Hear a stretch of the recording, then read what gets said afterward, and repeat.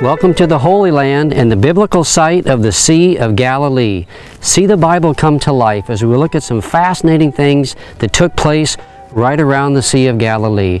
Of all the places in Scripture, we have Jerusalem and then the Sea of Galilee that are the two most important places in Israel. So we're going to be looking today at some of the things about the Sea of Galilee. Look along, follow along as we take a look here. It's a freshwater lake about 8 miles wide and about 12 miles long.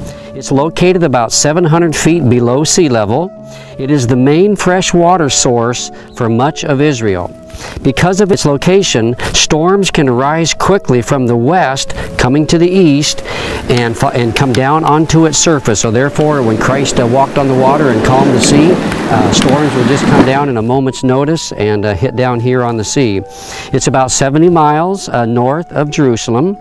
Uh, it was located on the main crossroad of the known world during the time of Christ, uh, during his ministry on earth, called the Via Maris. It linked the continents of Africa, Asia, and Europe. Uh, it was the main travel route uh, that passed along here called the Via Maris or the Way of the Sea. Travelers from these three continents were forced to use this trade route as there was no other means for traveling to and from the continent. So once again, the Sea of Galilee, the northern shore where Christ spent 70% of his ministry, was very strategically located because it was on the main crossroad linking the known world at that time, Africa to the south with Asia and Europe to the north. So they had to pass through uh, Israel along the sea, and then they would cut in right along the uh, Sea of Galilee. So there's still uh, um, markers of the Roman road that passed uh, right through here. So. Um, so fascinating thing about the uh, location of the Sea of Galilee.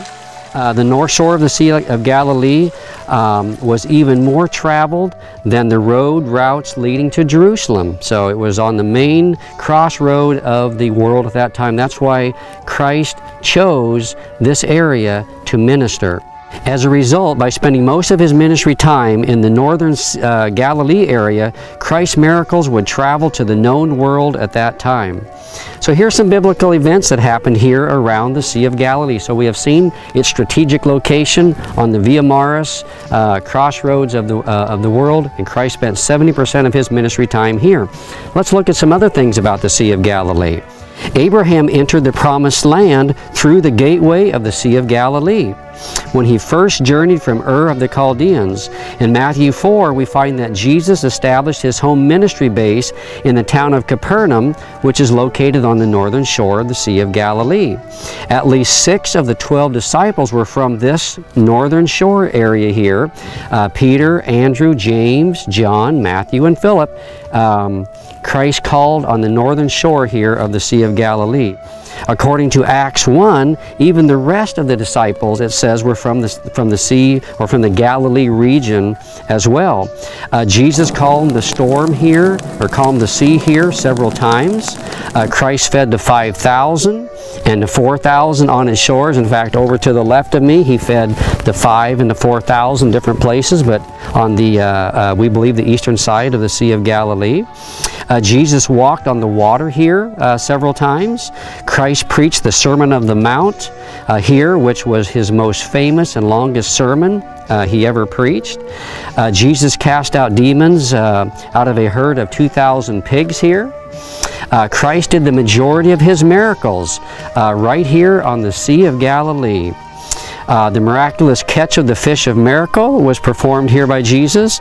Large multitudes of people followed Jesus here, which, which could have easily been upwards of around 15,000 or plus uh, people that followed Jesus. We know that Jesus fed uh, 5,000 and 4,000. Those were just those were just the men. They didn't take into consideration the women and children. So to feed 5,000, there easily could have been maybe 15, even 20, 25,000 people that he actually fed. So there was large multitudes that followed him. They came from everywhere around uh, Israel and even north um, of Israel.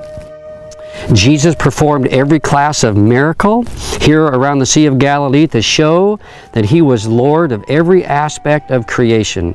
Here are some just various kinds of miracles which Christ dealt with uh, here in this area.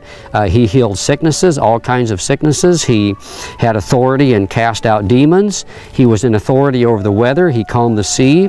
Uh, he was he was in charge of nature, had authority over nature. He, he cursed a fig tree and it died. He was uh, he had authority over animals. He cast the demons out of a of a demon possessed man, and they ran down the sea uh, into the seashore, into the actual sea, and drowned. Um, he raised people from the dead uh, here in this area, and once again, he fed the 5,000, 4,000, and he even had power to forgive sins. He forgave uh, um, uh, sins as well. So, uh, significant things about Christ's authority uh, as he uh, preached. Also, Christ, Christ preached the parables of the kingdom. In Matthew 13, we find the, the largest content of the parables of the kingdom that were preached from the seashore of, I think, close to Capernaum on the northern seashore. Jesus appeared here after his resurrection uh, to the uh, apostles. He reinstated Peter, restored Peter on the northern shore here. Uh, Jesus spent about 70% of his ministry time here on the northern shore of the Sea of Galilee. Uh, he also cursed the unrepentant cities of Chorazin, Bethsaida, and Capernaum, which were located here, right on the northern shore of the Sea of Galilee in the Galilee area. So, uh, what are some interesting facts we've noted about the Sea of Galilee area? Let's just uh, um, summarize uh, the key points here. It's a freshwater body of water.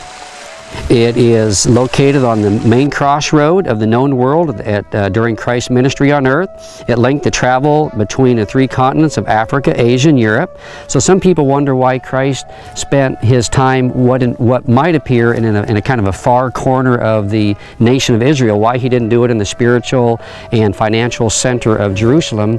But it was really um, the northern shore of, sea of, of, the Sea of Galilee was, was traveled more actually than, than uh, Jerusalem. So so uh, God in His sovereignty uh, chose exactly where Christ would minister. So uh, Christ um, healed large uh, uh, multitudes of people, all kinds of sicknesses. Large multitudes of people followed him, uh, upwards of 15 to 25,000 in size. Uh, Jesus spent around 70% of his ministry here, and he cursed the towns of Chorazin, Bethsaida, and Capernaum uh, here. So, anyway, some fascinating things about the Sea of Galilee in its strategic place during Christ's ministry during his time on earth.